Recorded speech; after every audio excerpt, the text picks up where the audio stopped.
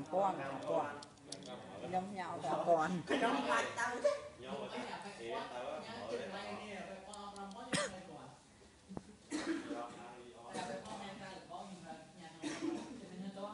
បើផ្ញើនឹងស៊ីសវត្តតែ2000ហ្នឹង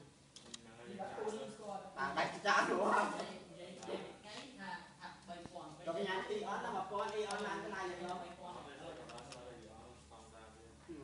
លយទៅ1000ទីអត់អីនេះថៃថៃបងណៃអូញោមមកប្រពន្ធពី រនាក់ដល់ប្រពន្ធពីរនាក់មែនតាឲ្យឲ្យតែកន្លែងណាស៊ីស្បូមនោះឈឺនោមត្រង់ជួគ្នាហ្មង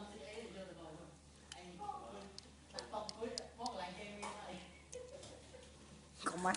មកគេឲ្យកោតទៅអង្គុយគេដេញចេញហើយឃើញអីគេឃើញជិះនោមតម្រង់ជួគេឃើញគេថតថតតាចូលបើចូលហ្នឹងអត់មានអស់លុយទេបើបើចូលអាបន្ទប់ទឹកអស់លុយហ្នឹងអស់លុយហ